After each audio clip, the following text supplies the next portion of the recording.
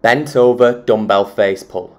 So knees are flexed, soles of the feet in contact with the floor, chin touch, rib cage stacked on top of the pelvis, bend over at 45 degrees, grabbing hold of the dumbbells in the hands in a pronated position. From there, you're going to roll those dumbbells back and retract, taking those thumbs up towards the sky into external rotation, externally rotating at 90 degrees, trying to keep the wrist and the elbow in alignment best you can, feel all those muscles activate in the back.